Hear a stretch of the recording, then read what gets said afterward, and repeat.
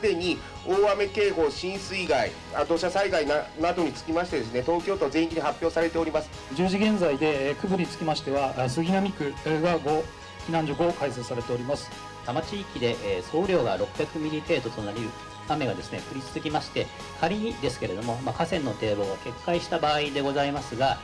ご覧のように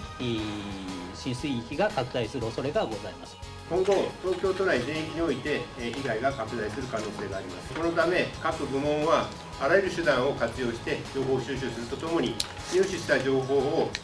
重複を厭わず災害本部内で共有するようにしてください。正確な情報に基づく迅速な対応が都民の安全確保につながります。